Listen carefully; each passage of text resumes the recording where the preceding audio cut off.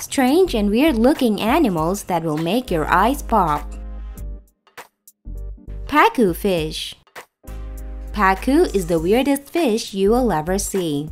To see the magic, peel back its mouth. It uses its strange human-like teeth to crush shells or prey such as crustaceans and clams. And unlike what most of us would think, Pacu is not even a rare or an endangered fish.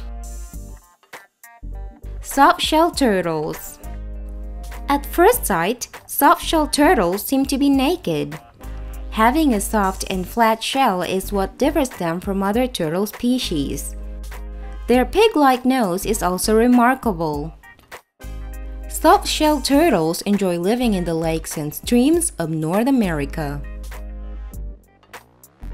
Blobfish Blobfish inhabits the deepest part of the ocean, which is why many of you haven't seen it before.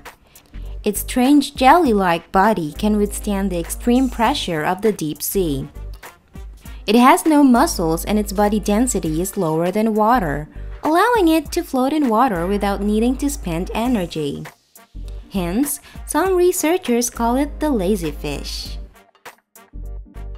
Glaucus atlanticus It may look cute and friendly, but the Glaucus atlanticus is actually one of the most dangerous sea slugs.